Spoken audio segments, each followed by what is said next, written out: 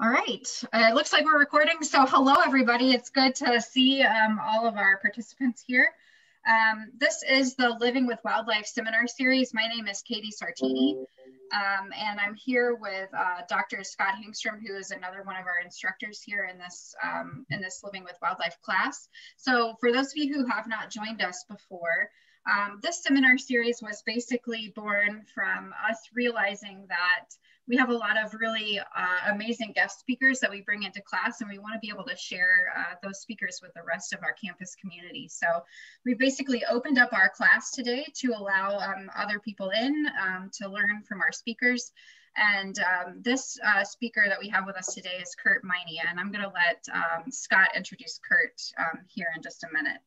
Before we get started with our talk though, I just want to quickly acknowledge um, that uh, we, so I'm sorry, I'm just gonna read this statement word for word. This is a statement that we've been asked to read whenever we gather, and we're gonna consider this to be a public gathering, even though it is a virtual public gathering. Um, so we recognize that the University of Wisconsin-Stevens Point occupies lands of the Ho-Chunk and Menominee people. Please take a moment to acknowledge and honor the ancestral Ho-Chunk and Menominee land and the sacred land of all indigenous peoples.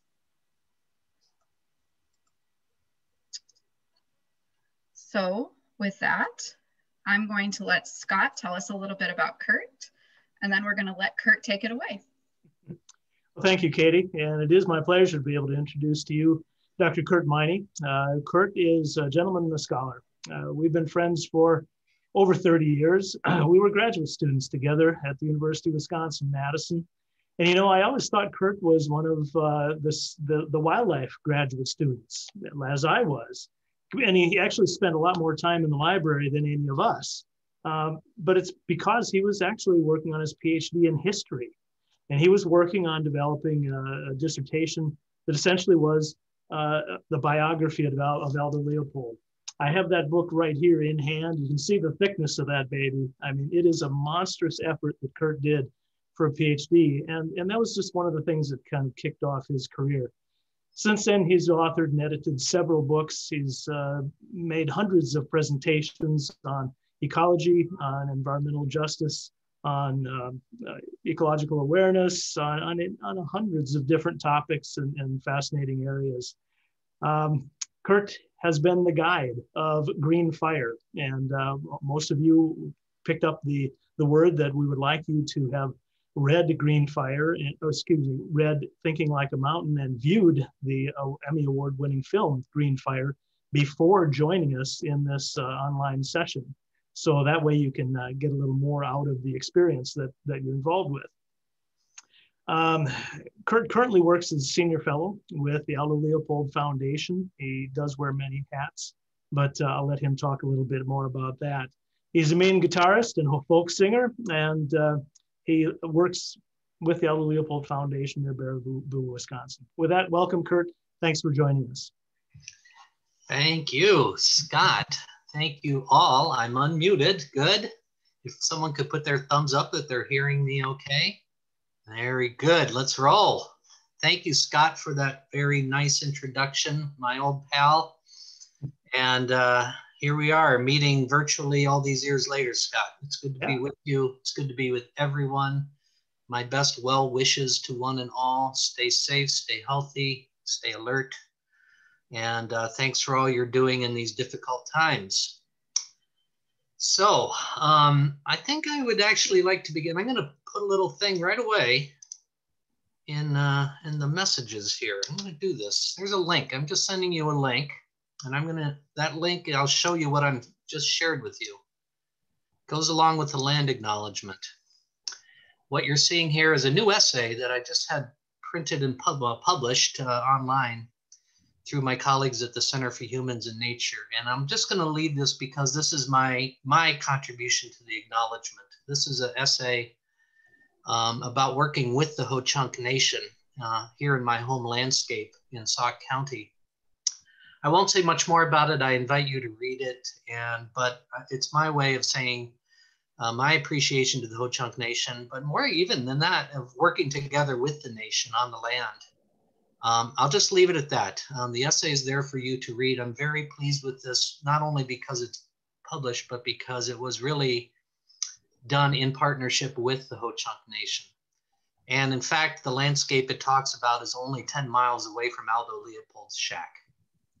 And there's a lesson in that, I think, for the future as well as for the present, and helps us understand the history. So I'll leave it at that for now, but I encourage you all to uh, take a look at that. So I'll stop sharing that screen and I will start sharing, oops, start sharing another screen. Hold on here. Uh, let's see. Share screen. Okay, let me get the other screen here. Here we go. There we go. So, um, I altered my title a little bit while throwing this together um, in the last uh, few hours because um, I wanted to change the title a bit. The subtitle of, for those of you who've seen the film, is A Land Ethic for Our Time. If you had a chance to watch the film Green Fire um, or have seen it in the past, you'll recognize that as our subtitle. We chose it very purposefully to say that this is not just a historic history documentary. This is a film about the evolution of an idea that Leopold framed back at the end of his life, but that continues to grow and evolve. And the point of the whole film, in a sense, is that this is an idea that changes. And it's changing and it changed in Leopold's time and it's changing in years since, and it continues to. So um, I'm going to do this presentation, which I haven't done for a while. Green Fire premiered almost 10 years ago. It's hard to believe that for me. Um, and in the first few years after the film, I would do this present version, earlier version of this presentation to accompany the film to explore for, I would say, more academic audiences, the conceptual framework of, that went into the film and helps us understand Leopold's contemporary relevance. Um, so in revisiting it for this, I actually shifted it a little bit. So we'll talk about that as I go along. But first, that um, we're taking the big picture here. This is my full picture slide, right? It helps to uh, give us the perspective we need, especially these days, to kind of rise above um, all that is in our way at the moment. And it, there's a lot in our way. Just so you know, I'm down here. I think you can see my cursor. I'm down here at the bend in the Wisconsin River um, where it turns west into the driftless area. So I'm about 100 miles downstream from where many of you are right now. Perhaps you're scattered about. Um, so the big picture is what we're going to look at. If you watched the film Green Fire, the very last line we use is Aldo Leopold's own, you know, his some of his own final words. I'm not going to use, I'm only have two Leopold quotes in this whole presentation, here at the very beginning and then at the very end. But this is the one we conclude the film with that Leopold wrote in, a, in the land ethic. I purposely presented the land ethic as a product of social evolution because nothing so important as an ethic is ever written. It evolves in the minds of a thinking community. And again, in the film, we comment on the irony of this statement that Leopold, in his own essay called The Land Ethic, makes a point that you can't write the land ethic. It is a collective expression of concern and care and love and respect. That's how Leopold understood his idea of an ethic. And so I'm going to be talking mostly about how we may think about it in contemporary terms. And I'm going to do this by going through some of the faces and places that show up in our film. And even if you haven't seen Green Fire, uh, you don't have to know who all these people and all these places are because uh, it kind of tells the story itself. But if you watch the film, you'll recognize some of these faces and you'll see a much younger me now with uh, a little darker hair and a beard. So I'm just going to go through this real quickly, just as a reminder of people you met and voices you heard and places you saw in the film Green Fire. These are the faces and places we brought forward to help tell the story of Aldo Leopold and the land ethic.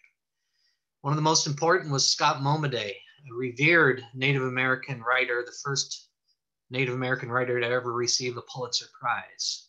still alive and well. God bless him. One of our great voices in American uh, culture and in Native American culture, and a great voice for land ethics. We visited places like this, the Gila Wilderness, the first wilderness area in the United States. We visited well-known figures like Dave Foreman, the famous founder of Earth First, the rabid wilderness advocate, bit of a puppy, puppy dog, as you can tell from this picture. Uh, he has a reputation for being a very hard, hard driving conservationist. He's a, he has a different spirit when you're sitting with him. We visited ranch lands out west in the Southern Rockies primarily. This is the ranch of my friend Sid Goodloe. Most of these are pictures we took while we were filming. Uh, Sid Goodloe, a, a conservation rancher who's still quite active. He's 90 years old now we visited. Now, so on that, you're going from wilderness lands, right? Wild places and wild land advocates to ranchers to our working landscapes and middle landscapes of the Midwest. Leopold Shack, of course, many of you have probably visited. And some of you who are a little older may remember meeting Aldo Leopold's daughter, Nina, a dear, dear friend and inspiration to so many of us who died just when the film was finished, actually. Um, this is actually an aerial phot photograph of the Wisconsin River. That yellow asterisk up there is where the Leopold Shack is. And I use this photo to illustrate that it's not a wild landscape. It is a landscape of embedded within typical Wisconsin mixed farmlands and woodlots and pastures and river bottom and so forth. And there's the Wisconsin River by Leopold Shack. Here's my buddy George Archibald the founder of the International Crane Foundation in Baraboo, Wisconsin. Uh, I'm a research associate there still, and we work all over the world on different wetland areas, from the most wild wetlands in the world to some of the most heavily affected by human impacts. In the film, we visit Western Wisconsin, the little town of Coon Valley out there next to La Crosse, just upstream, up watershed from the Mississippi River. And we talk, tell the story of the cooperative effort in the 1930s to rehabilitate this damaged landscape. There, in fact, we stopped and that's where we interviewed my friend Paul Johnson, a renowned conservationist from Iowa, who is a farmer and forester in his, in his life, but also spent time, a lot of time in government uh, leading important work on private land conservation. We visited other landscapes, suburban landscapes. If you watch the film, you may have seen a short visit we made to this little prairie embedded in the suburban landscape of Chicago, near where I grew up, actually. And where a very active prairie restoration community goes out every weekend. Every weekend in the year, there's people out doing prairie restoration in the suburbs and in the city limits of Chicago. We visit cities and towns Burlington, Iowa, Leopold's hometown on the Mississippi River. Larger towns like Santa Fe, New Mexico, where Leopold and his wife met and were married. That's uh, Estella Leopold's childhood home in Santa Fe. We visit Madison, Wisconsin, of course, where Aldo Leopold spent the latter part of his career and life at the University in Madison. We go to big cities like Chicago, where I spent a lot of time, of course, growing up myself. We visit some wonderfully amazing people along the way. We visit this little nature center on the south side of Chicago, a little oasis, green oasis on the south side, where my friend Michael Howard just talked to Michael a couple weeks ago, um, 10 years after doing the film. We stay in touch. He's a good friend and a hero of mine, doing amazing work in this uh, challenged community in south side of Chicago. And then a couple last ones. Early in the film, there's just a little snippet here, but we went to visit my friend Carl Safina, who is a well-known writer and leading marine uh, ocean conservationist working out of Long Island. And so it's a reminder about the world below us, the oceans, and then this is my complement slide of looking up above to the skies, the atmosphere, the big sky out in the along the border in uh, New Mexico and Arizona in Mexico. So oceans and skies. Why do I use this whole sequence of slides? Well, it's to basically ask what do all these people have in common? These faces and voices we use to tell the story that we ask to share their story with us. What do they have in common? And these places, from some of the most wild places in the continental US to some of the most urbanized, what do they have in common? What do we share? How can we even weave together this fabric of a story from the, such a diversity of base voices and places? So that sets the stage for kind of where I want to go with this. Well, when we sat down to think about doing the film, I was not going to be the narrator. You see me on screen if you watch the film a lot. Um, that was not the original intent. I was going to be just helping out as a writer and reviewer and all that, but I ended up getting pulled into the film. And I said, all right, if I'm going to do this, it's going to have to kind of share some of my own ways of understanding how the story goes.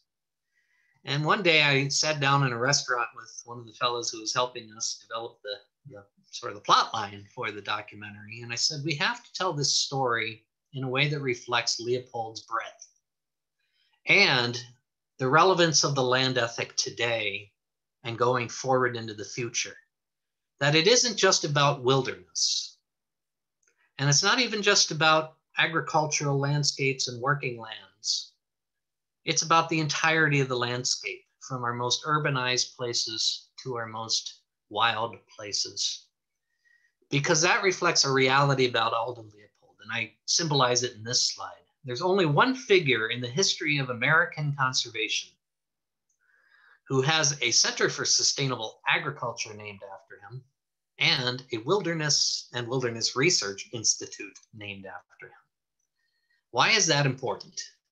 Well, first of all, just a reminder Leopold did work in for protection of wildlands from the earliest part of his career to the very end of his life. And part of his legacy is this commitment to protecting the wildest landscapes that we still have in our world. This was a commitment of him personally, professionally, and in his literary world too, his life too. Constantly writing about the value of wilderness for so many different values um, from recreational to cultural and historical to biodiversity and wildlife, and even spiritual values. He was committed to protecting wildlands. And he did this work um, in every capacity you can imagine, from scientist to advocate to teacher to administrator. But Leopold was also equally and passionately devoted to improving the sustainability and, of uh, our working lands. And especially after he moved back to the Midwest, his passion for improving the way we take care of the lands we need to produce our livelihoods, our goods and services was equally strong. And he wrote as much about that as he did about wilderness. Here's just a sample again of some of his writings on the theme and again meeting with people not just in offices but out on the farmscapes of wisconsin and beyond. Leopold was devoted to working with the landowner landowners uh, landowners in whole watersheds and landscapes. He was committed to this as much as anything in his conservation career. And even beyond that when he moved back to wisconsin in 1924 he was living here in the city in Madison. He was an urban dweller. And there's uh, what Madison looked like, the university campus in Madison looked like in about Leopold's time, the 20s and 30s, looking toward the state capitol there down University Avenue. And in fact, it was in Madison that he helped develop the University of Wisconsin Arboretum, um, famous as the birthplace, if you will, of ecological restoration. And why is that important? Because with that, Leopold is starting a whole new branch of conservation, if you will. If John Muir and the early conservation movement was all about protection of wildlands, And Gifford Pinchot and other early foresters were all about sustainable forestry and agriculture and such. This was a third wave, ecological restoration, um, beginning in the 1930s in Madison, Wisconsin. So the big picture again, looking out over our landscapes, we ask the question, what does conservation mean now going forward? What does it mean in our times, especially in these challenging moments of our lives? But looking ahead to future decades and generations, what will conservation look like? What has to look like? Is Leopold even relevant to where we need to go? Well, I'm going to argue that he, of course, was and is still as significant, in fact, in some ways more significant now going forward than he has been in the past because of the relevance of the land ethic across the landscape, the title, subtitle of my talk here. So if you look back to the film Green Fire, you see we didn't have to try hard to frame it this way because there are people all across the landscape who love the places they live and are devoted to making them healthier and more resilient and more sustainable, whatever terms we want to use now. Um, they are devoted to conservation where they live. And it doesn't matter if you live in the most wild place or in the most urbanized place. And this is more than relevant than ever. Here's a, I flashed this up just to show you. I gave a talk way back now, 15 years ago almost, um, about the challenge of working from the urban part of our landscape to the rural. Bridging the urban rural divide. Oh my gosh, 2006. Because in the conservation world, at least some folks were already beginning to be concerned about the growing divide between urban and rural America. So I'm a little just going to do a little uh, a little detour here for a few slides to talk about that, about how the world has changed since Leopold's time. If you look here, Leopold was uh, living and working in the time when America became more and more urban. And the conservation movement he knew was based in rural America. The environmental movement comes along back in the 70s with more of a suburban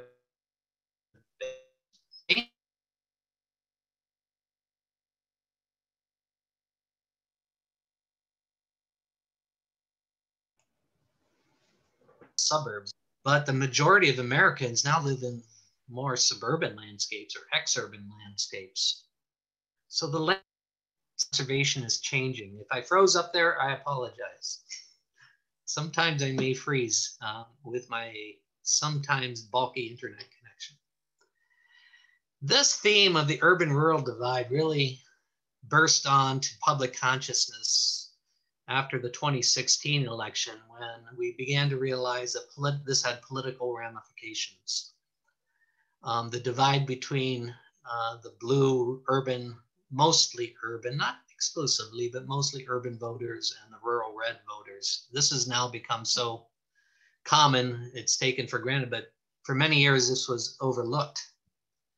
But after that election, after four years ago, after the last presidential election, we began to see headlines like this. We began to be much more conscious of the urban rural divide and the differences in our body politic. And, you know, more and more political scientists and others began to focus on something that we in the conservation world had been thinking about a lot already but we've become increasingly polarized, not only politically, but geographically. And if you're curious, this is the la- latest map that I could find and the results from just two weeks ago. We are purple, but we have bluer and redder zones, of course, and any red state has blue cities and any blue state has red countryside. And years ago, I remember talking, giving talks on this theme and saying, if we do not if we do not reconstitute the common ground, our democracy is going to fail.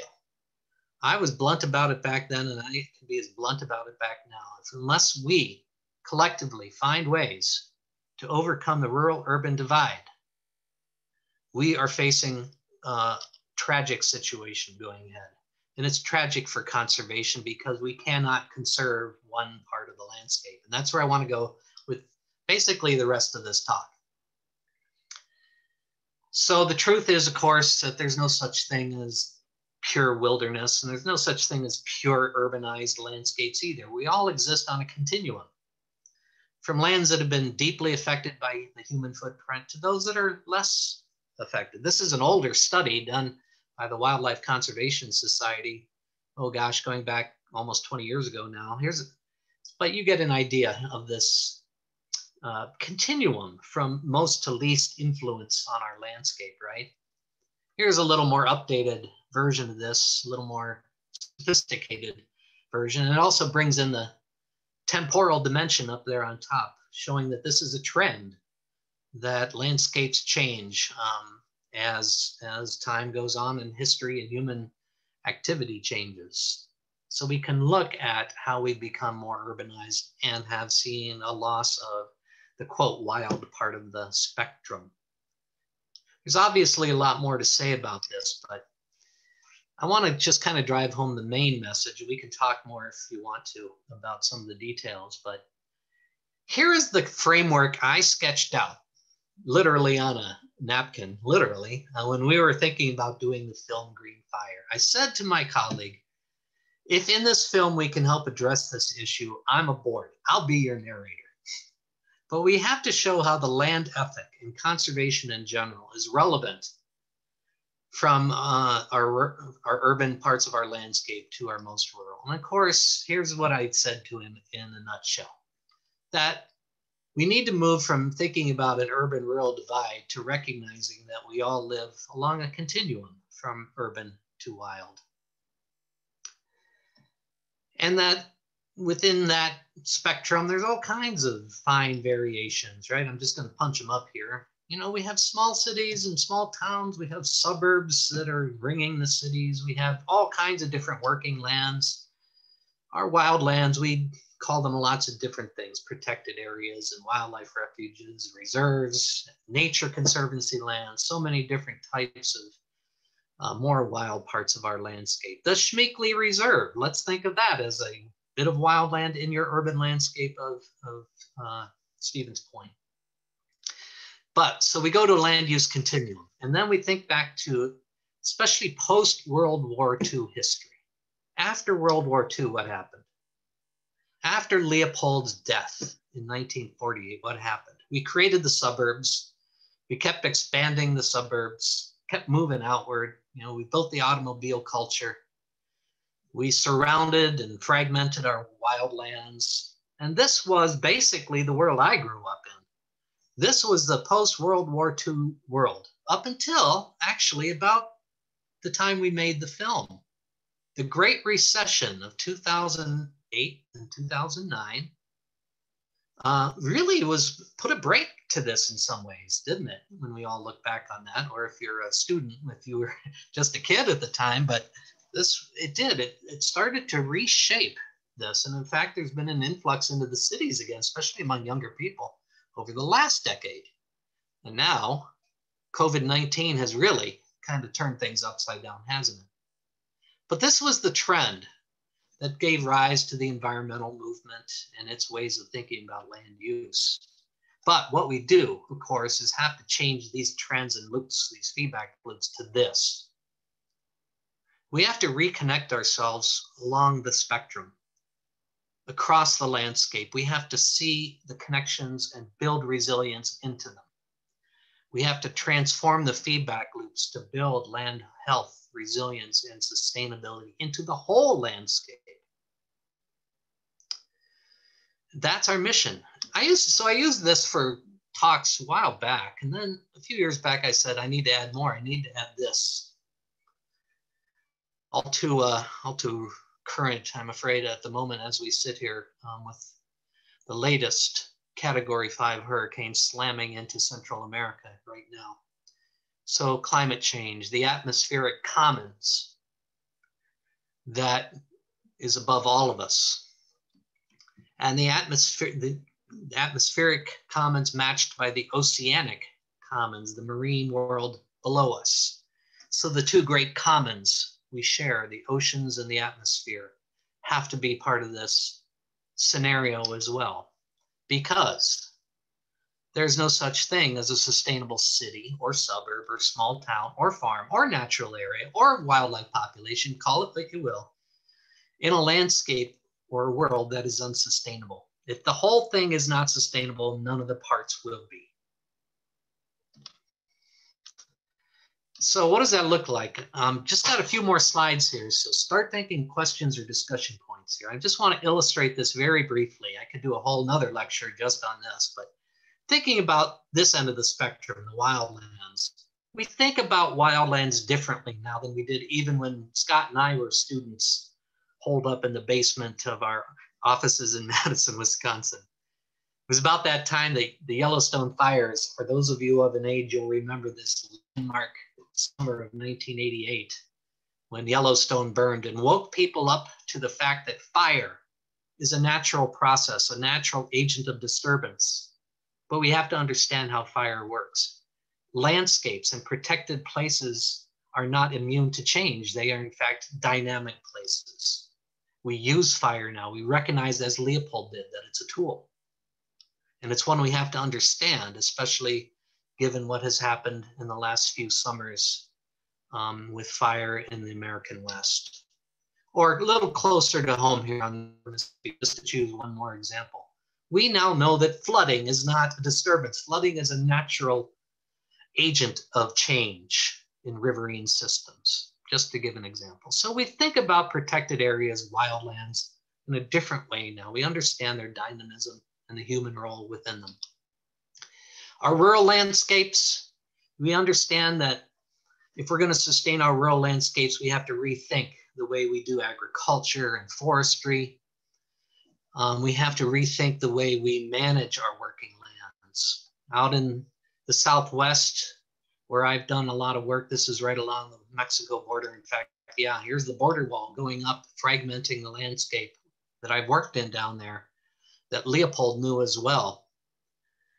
So our working ranch lands or in the US and in um, Wisconsin, it may be this. It may be trying to understand how we're going to sustain our farming world, our traditions, but how those traditions may have to adapt and change under new circumstances economic, environmental, social. And we're seeing those changes happening. Uh, Wisconsin, we have a lot of examples. We could do a whole lecture just on alternative scenarios for the future of agriculture. Organic, highlighted here, is just one of them, but um, it's happening everywhere. Um, but Wisconsin is a uh, hotspot. How about the suburbs? Oh my gosh, suburbs. Those post World War II suburbs? Well, they kind of can't go on forever, right? We all knew this even as it was happening. We reached that breaking point 10 years ago. They still get built, they still sprawl out there, but increasingly we see innovation. How can we design our built environment? This is a development on the far north fringe of Chicago, just south of the Wisconsin border, actually. Um, a place I got familiar with when I, I came to know the landscape and the designers of this place. And when this was built, this is back in the 90s. Look at this. It made literally made headlines all over the country. Developing a suburb with principles, with ideas that is of sustainability guiding them. And then on the urban end, Chicago, here's Chicago, filming in Chicago. Remember? Yeah, we were out there. Look, this is a product of the Chicago Wilderness, um, the consortium of conservation organizations in the Chicago area, one of the largest cities, of course, in North America. Probably the most vital city for conservation in the world, in my view. But isn't this a different way of thinking about cities, of seeing the green infrastructure that supports them? but also which cities affect and how can we rethink our cities so that we work in harmony with the landscape that contains them. Even Stevens Point, I shouldn't say even, um, Stevens Point has a tradition of this. I just scrolled around on Google and found a couple things just before putting this together. 2008, that's 12 years ago, hope someone there can tell me more about how the path to a sustainable Stevens Point has gone forward, whether anything came out of that effort. But every city has opportunities now to rethink itself. And this is going to be happening, I predict, big time as the pandemic hopefully begins to release its grip on all of us. We have to rethink our urban environments along with every other.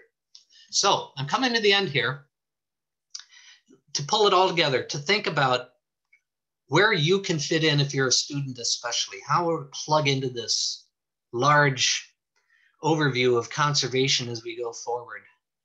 Whether it's at the urban end or the wildland end or anything in the middle, whether it's dealing with local food or dealing with design, dealing with agriculture in cities, dealing with watersheds, there's a hmm. place to plug in, no matter what your interest, your profession, your specialty, your discipline, because we're going to need it all. We're going to need it all across the landscape. We're going to need all these approaches that make connection across the landscape and build resilience into the whole scenario. Because, and this is kind of my take home couple messages here something is sustainable when it contributes to healthier and more resilient connections across the landscape. And if it undermines those connections and relationships, it's not sustainable. That's why the urban rural divide is such a tragic thing, because it's undermining the reality of connectivity as a society, but also as an ecological reality on the landscape.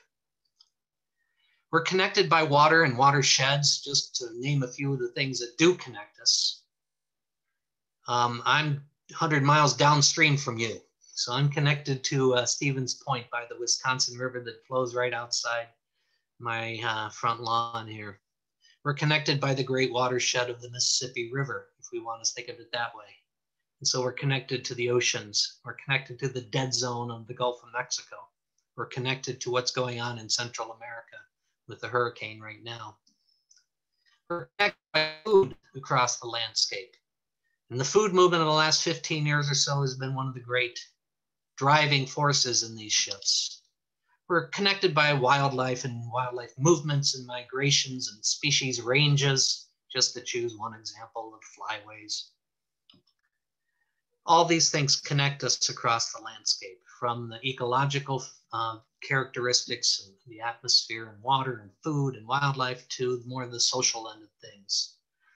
But we're also connected culturally and spiritually by our history, by our stories, by, in fact, our shared future.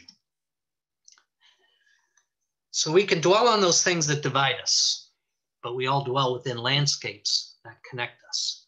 To me, that is the core take home message that lives with the land ethic. The land ethic is an expression of concern for the land, but also for human connections on the land.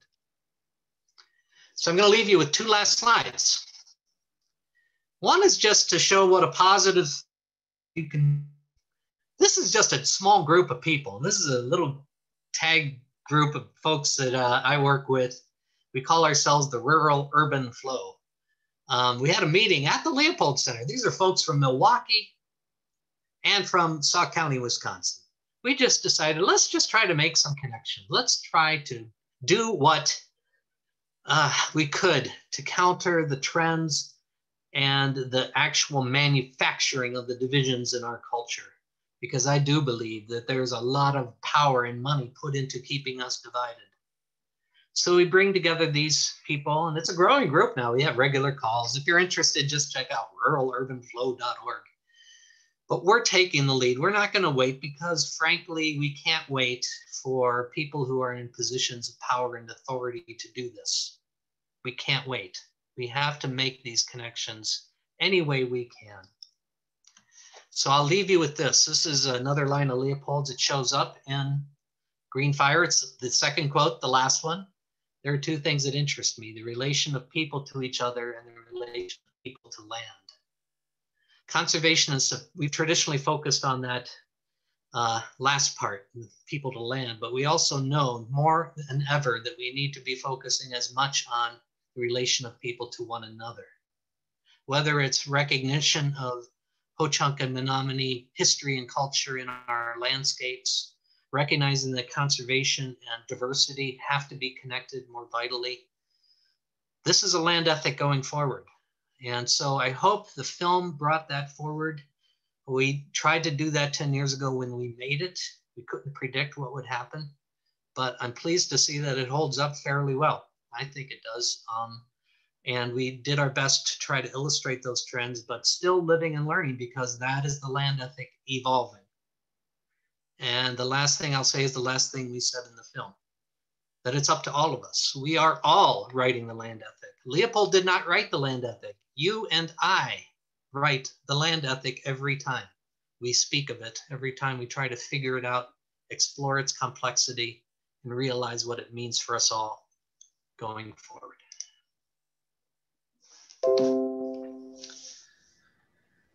There we be. awesome. Oh, I took longer than I anticipated. I apologize for that. Not, not a problem at all, Curt. I really appreciate that. I, I think, um, well, I don't know. This is the kind of thing I could, I could listen to you talk about this all, all the time. I think because it's, it always feels so inspiring to me. I, I really appreciate it. Thank you. Um, we do have uh, a few minutes for questions, guys. It's 4:42. The seminar officially ends at 4:50, but we can go um, as long as people want to stay, as long as Curt is willing to stay with us, I guess. I'm more than um, happy. Yeah, so I, I think we've got enough interest to keep you busy for a little bit. So um, we've had a couple questions chatted in already. Yeah. Um, so would you like me to uh, to read those out? Or how would you like to handle the questions? Do you want to? Um, I can read them. I'll, I'll, I'll, save you the trouble. Um, let's just take them one by one. All right. Uh, my friend Scott starts it off by asking, it's been 30 years since I wrote the biography of Leopold. Indeed it does. And 10 years since we made the film. How's my perspective on it changed in this time? Oh my gosh.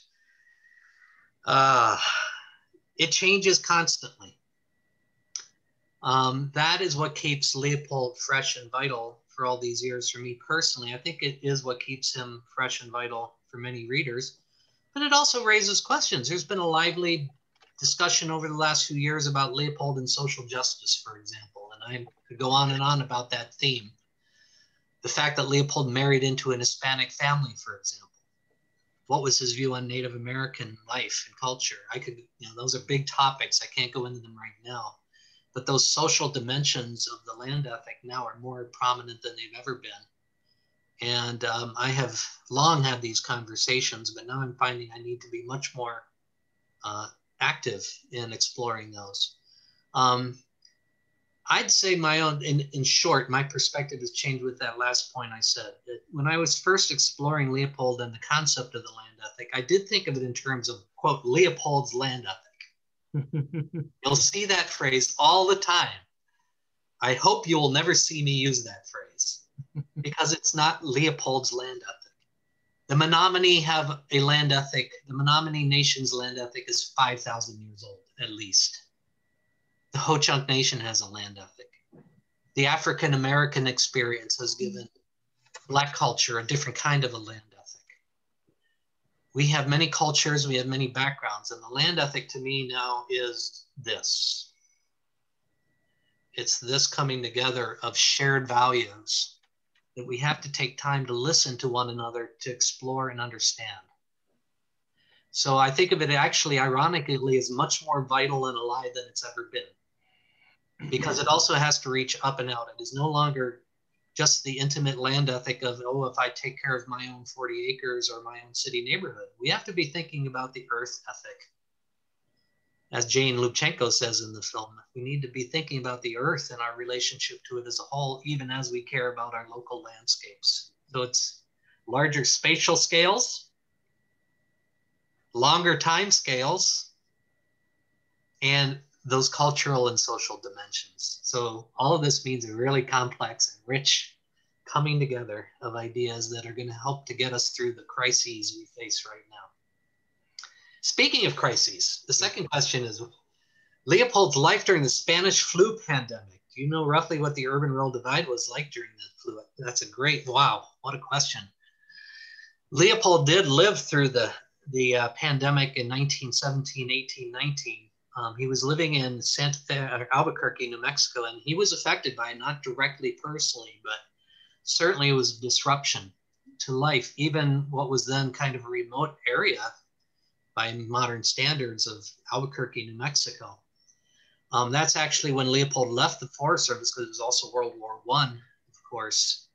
Um, so um, Leopold's life was uncertain, very uncertain, um, due to the global uh, pandemic, but also global conflict for the first time in history.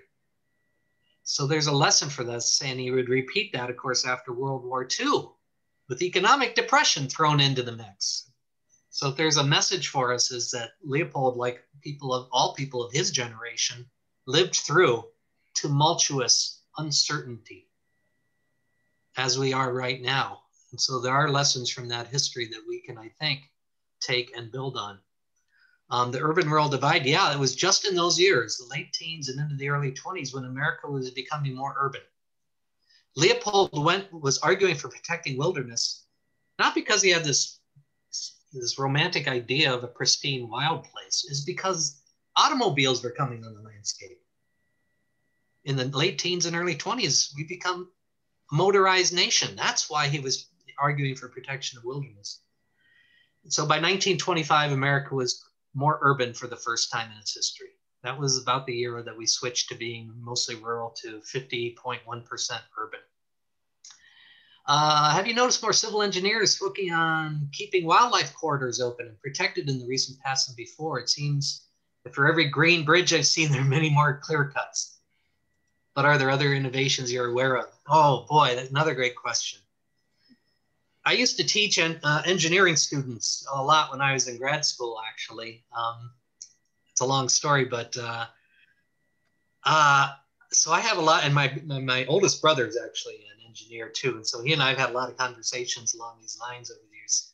Um, I am so impressed with how much more ecologically aware engineers are now than they used to be. And let's say it the other way too, that those of us who come from the natural sciences, I think we understand more the need to engage with people working with the built environment, working with obviously technology. We can't avoid it, obviously, but we understand more that it's going to take a marriage of technology and ethics and so much more to get us through all this. And so, yeah, I do see, yeah, I wish I could say it was all the time. I can name all kinds of highway projects and other things that I see on a daily basis that uh, don't give me a lot of optimism. But I can also see a lot of wonderful projects where you do see ecological wisdom coming together with technological know-how. Um, so yeah, how was the prairie in the rural area of Chicago started? Uh, boy, that embedded prairie, it's a great story. Uh, I'll try to make it short. Um, that prairie, that, that little postage stamp prairie in the suburbs of Chicago, uh, that one was protected because a, I hate to say the word, but a classic housewife, suburban housewife in the 60s, heard a lecture by a University of Wisconsin professor. Scott will know the name. Some of you of an age will know the name Hugh Iltis renowned and incorrigible biodiversity advocate, gave a lecture in the 1960s on why we should care about prairies. This woman heard it and she went to work preserving that little prairie. She now lives in Wisconsin, actually. She must be in her 90s now, but I, I got in touch with her. The prairies that are around Chicago and that are being restored that's a legacy of the movement in the early 20th century to protect the forest preserves. All of you have driven in and around Chicago probably at some point or flown in and out of O'Hare Airport, and you see the green necklace. Well, it used to be a necklace around Chicago. Now it's kind of embedded within the urban area of Chicago.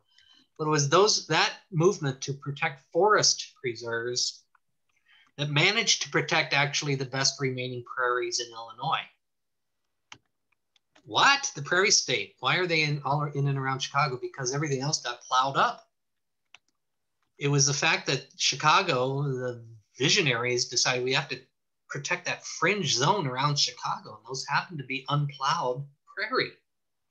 So amazingly enough, uh, they were able to protect them. And then later on, two generations later, three generations, we understood that you can't just simply protect things by putting a boundary line around them. You have to be actively maintaining and restoring them. It's a great story. There's a lot written about that. I'm going to take a sip here. Coon Valley. Has Coon Valley stayed committed to conservation? Indeed, I recommend all of you, if you have a chance to take field trips out to Coon Valley and get the history. We can help set that up if you'd like to do that when we can do gatherings again. Um, yeah, there is still a legacy of uh, land care and stewardship in, in that region. Um, there has to be because of the physical characteristics of the landscape. It's so highly ero erosion prone. So you still see a lot of the same features. Of course, those of you who are fisher people will know that it's amazingly important trout fishing out there as the stream beds have recovered and the base flow of the groundwater has recharged the streams and the trout have recovered. At the same time that agricultural and market pressures are strong. Uh, the movement toward corn and soy, let's just be blunt about it. Um, the economic pressures to just go corn and soy, even in the convoluted driftless area of Wisconsin, makes it really hard. And so there are challenges now, and all, on top of all the other challenges of the economics of dairying and small dairying.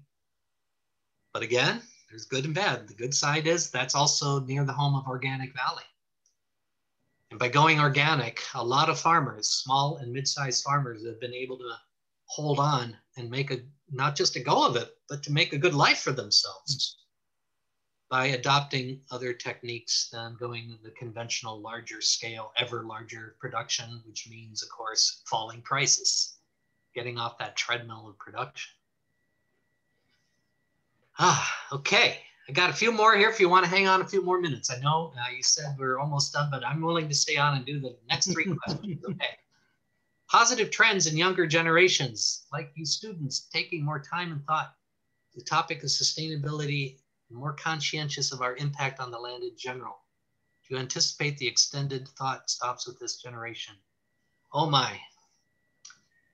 I do indeed see positive trends. Um, well, I'll say a couple things. One, I mentioned the food movement just as an example. when I give this lecture, I often will say to the students, I said, you know, just ask your parents and ask if you eat better in your dorm or in your student union than their, your parents did. And I guarantee you, you eat better. the food is better. The food is healthier. Why is that? It's not because the president of the University of Wisconsin Stevens Point said, oh, we have to give better food to our students. No, I guarantee you that's not what happened. It happened because students rose up and said, starting 15, 20 years ago, mm. care about their health.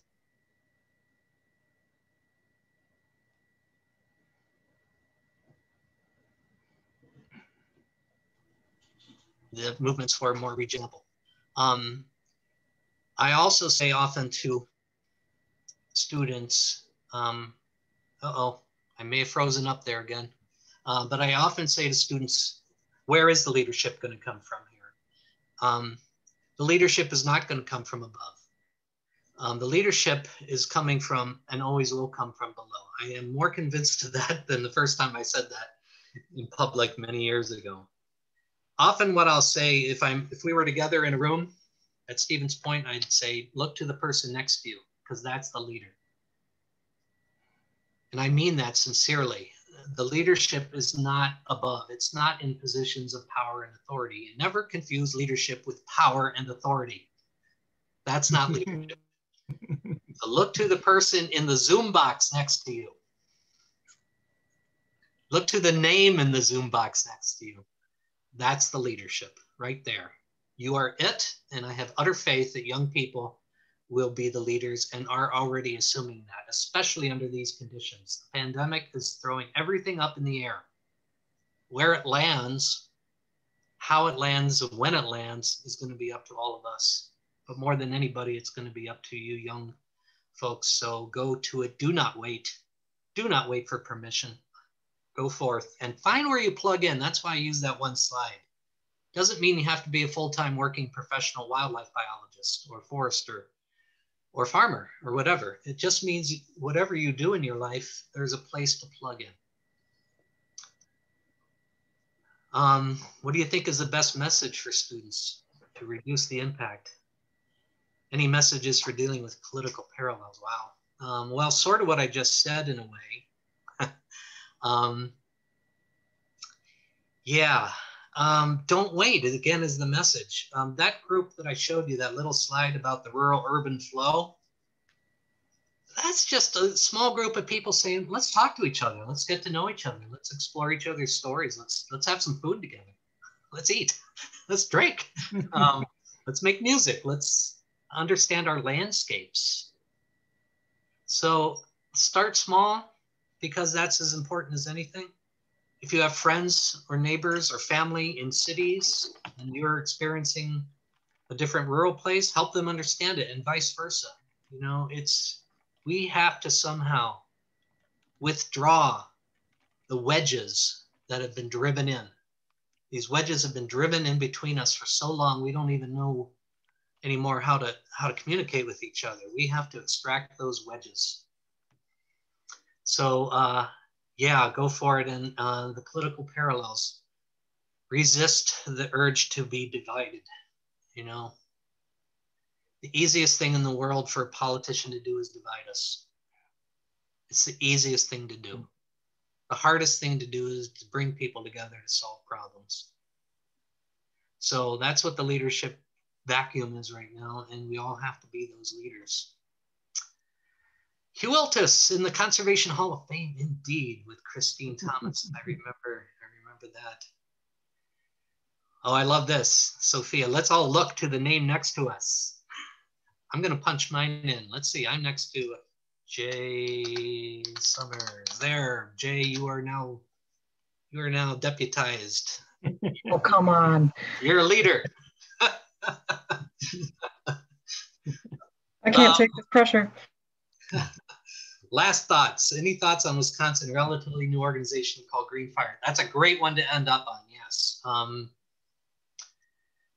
yeah. Uh, boy, um, I was sort of helped start Green Fire. I, I, haven't been nearly as active as many of my old friends and colleagues have been, but uh, the first organi- first annual meeting of Green Fire was in fact held at the Aldo Leopold Center. And it was, in fact, going back to the earlier questions, it was an effort by many professionals, especially retired Wisconsin DNR colleagues, to say enough. We have to be able to come together. We have to bring science back into policymaking. We have to use science in a respectful way. We have to be able to call upon our citizens and our professionals to stand up for the values that we in Wisconsin used to think would never leave us. We in Wisconsin used to brag on ourselves all the time about being great leaders nationally in conservation. Well, we lost that if we're frank and honest with ourselves. And I believe we have to be frank and honest with ourselves if we're ever going to be reclaiming that mantle. So um, when Green Wisconsin's Green Fire came together now about four or five years ago, it was to give a voice again to the role of science in decision making, but also to the idea that science serves the public interest.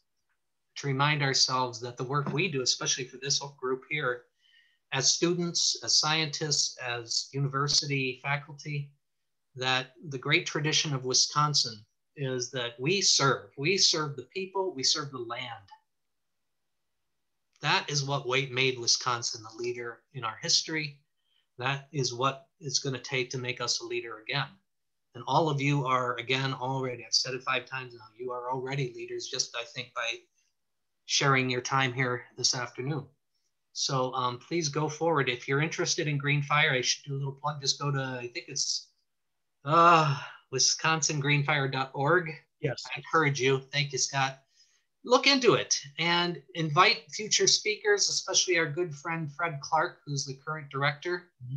of uh, Green Fire. I know he would drop anything to come and speak to you, all of you, uh, about how you can be involved. And here's a last toast to your health. to you all, thank you for spending time. Well, thank you, Curt, for your words of wisdom here today. Um, Katie and I have been assigning many readings out of Leopold's uh, Sand County Almanac, and I, I, think some of the students came here thinking, "Oh, we're going to have to listen to more words about uh, green fire dying in the wolf size, etc." Well, I think they got a lot more than that. well, it, it's you know that remember I showed the picture of Scott Momaday. Read Scott Momaday if you don't know his work. Just an amazing voice, and he's the one in the film who says, I think we all have the essence of green fire within us. Right? And that is the take home message. The green fire is not something that happened historically, it is that thing we all feel within ourselves that devotes us to this work. So carry it on. That's terrific, Curt. Thanks for your time, and uh, we hope to have you back again some other time. Hope to see you all soon. Yeah. Healthy.